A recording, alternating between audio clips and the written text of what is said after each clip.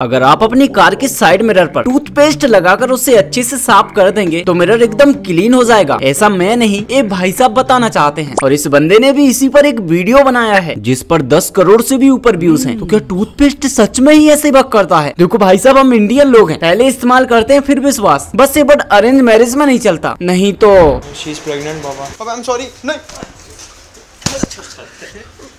Sorry मज़ाक से हटके। तो फटाफट से मैं हमारे इंडिया का सबसे फ़ेमस टूथपेस्ट कोलगेट को अपनी कार के मिरर पर लगाता हूँ। और फिर जैसे ही मैंने मिरर को क्लीन किया, भाई साहब, मैं तो कंफ्यूज हो गया। मिरर तो सच में ही एकदम क्लीन हो गया। एक सवाल, हमने सारे गेट घूम लिए? एक गेट नहीं घूमा। कौन सा? सिर्फ़ बिना शादीशुदा लोग ही इसका जवाब बता पाएँगे।